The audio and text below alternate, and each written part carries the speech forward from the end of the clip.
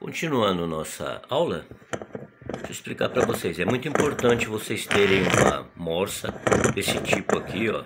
Ela é giratória, ok? Aí tem aqui a parte para prender, para ela não girar mais, para ela ficar fixa. Isso é importante, nós vamos usar. Numa aula eu disse para tomar cuidado, né? Principalmente na aula de ótica, com esta parte aqui da, da morsa.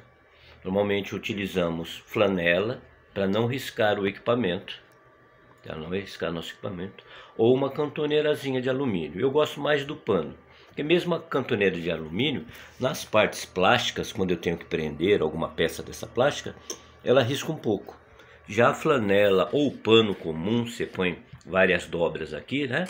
Que na hora do aperto, isso aqui, vocês podem observar que ela é meio dentada.